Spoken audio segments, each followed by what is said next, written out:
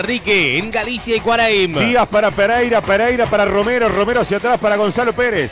Las salidas de Liverpool todavía en su propio territorio. Juega Pérez para Joaquín Sosa, otra vez para Pérez. Dominando la acción el número 4 del equipo negra azul. Levanta la cabeza, lo presiona Cantera. Envió en largo, jugando para Medina. Un buen golpe de cabeza para habilitar a Vecino. Vecino la gana, penetró en el área, no hay nada. Lucha y gana, Medina le pegó.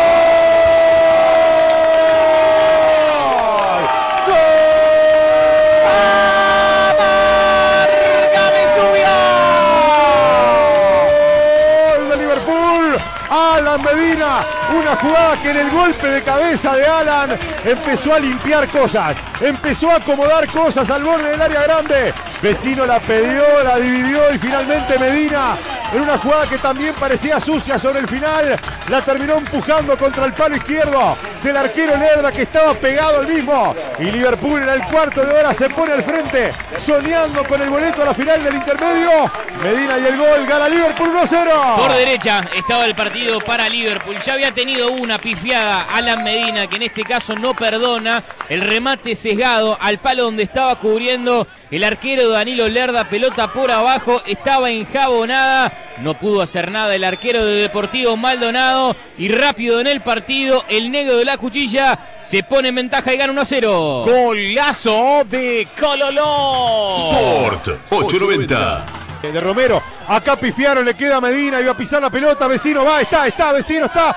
¡Ay, vecino la abrió! Tiene el taco para Martirena, Martirena de frente al arco, ¡gol!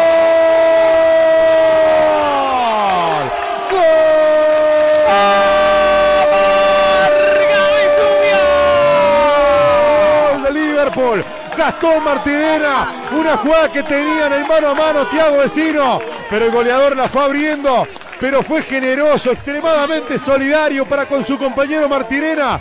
Un taco en la resolución de Vecino y Martirena la puso entre el propio Núñez y el palo. Notable definición de Gastón Martirena para hacer justicia con el partido en el cierre del primer tiempo. Abre dos de diferencia la cuchilla. Gana Liverpool 2 a 0. Con suspenso, una jugada que parecía podía definir Thiago Vecino, el número 9 que estaba de frente al arco. Se fue abriendo y cuando parecía que se diluía la jugada, encontró con el recurso del taco Thiago Vecino para poner nuevamente la pelota en juego y la aparición del número 15 Gastón Martirena, un lateral volante que llega mucho al área para definir nuevamente al palo del arquero y convertir el segundo para Liverpool. Golazo de Cololó. Sport 890. Asesorate y experimentá la solución. Ahí está Federico Pereira para ejecutar la falta, lo hace de manera corta para Gonzalo Pérez. Envía Pérez a tres cuartos de cancha, despliega con golpe de cabeza por el costado izquierdo Tealde, Tealde para Ángel Rodríguez. Va colocando para Cantera, rodeo notable de Cantera para Borges. Se mete Borges y está, eludió a Brito, Borges está. ¡Gol! ¡Gol! Del Deportivo Maldonado. El goleador Enzo Borges. Una jugada de Cantera, un pase exquisito de Maximiliano Cantera atacando el espacio entre los zagueros. Salió Britos al descubierto y Borges con un sutil zurdazo la pone al fondo de la red. Nada pudo hacer Joaquín Sosa. Tiene el minuto número 18 del segundo tiempo. Descuenta el Depor, le pone sal y pimienta al partido. Ahora gana Liverpool 2 a 1. Inentendible que Enzo Borges no sea titular en este equipo. Claramente la postura cambió en el segundo tiempo.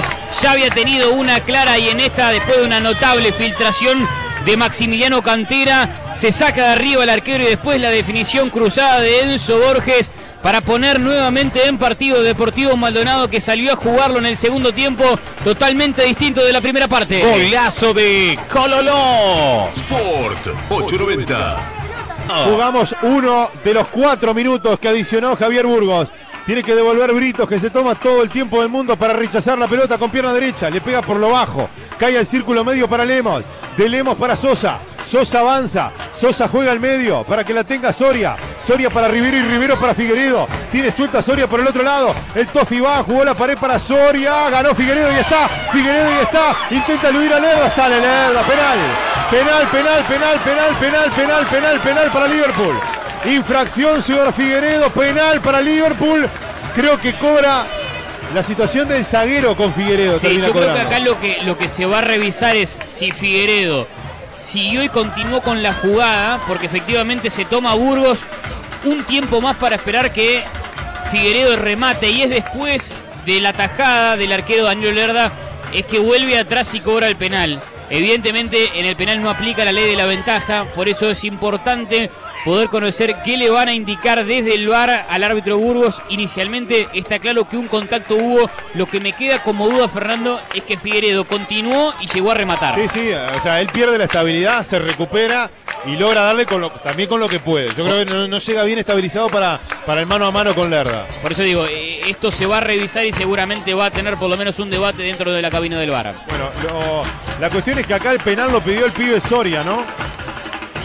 No está la Medina, bueno, ya no está Carneiro, que era el que le pegaba los penales. No está Vecino. No está Thiago Vecino, no, está la Medina.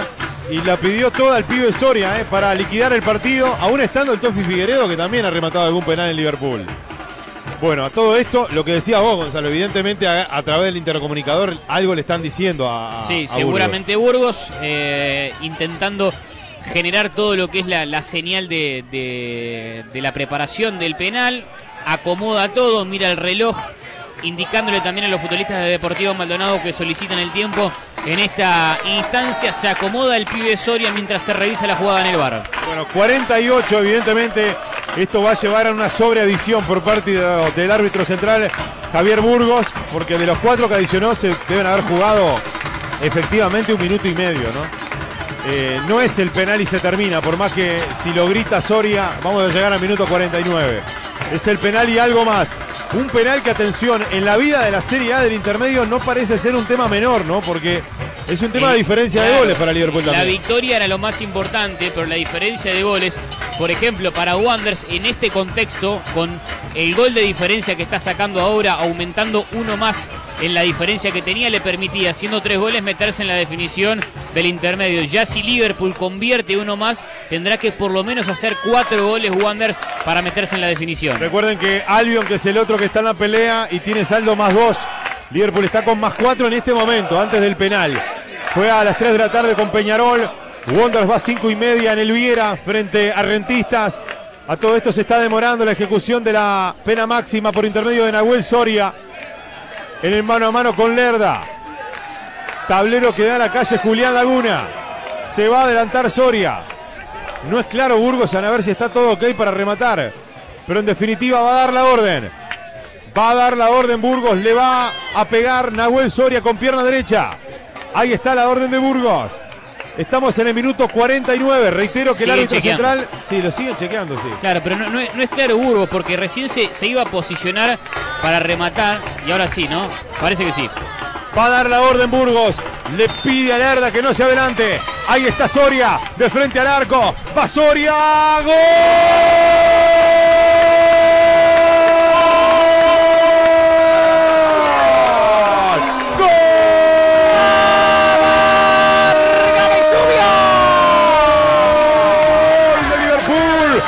Botija Nahuel Soria. Notablemente ejecutado. Lerda a la izquierda. Soria contra el otro lado. Y Liverpool lo liquida en su estadio. Para la algarabía de su gente. Para retornar, aunque sea en forma parcial, a lo más alto de la tabla anual. Para quedarse con el check-in rumbo a la final del campeonato intermedio. Nahuel Soria pone el tercero, el pibe del club. Gana el Liverpool en su estadio 3 a 1. La pidió y con mucha confianza, pura potencia. El pibe Nahuel Soria le rompió el arco a Danilo Lerda que se tiró un costado, la pelota fue hacia el otro y un gol importantísimo que le puede dar la chance a Liverpool de meterse definitivamente en la final del torneo intermedio. Golazo de Cololó. Sport 890.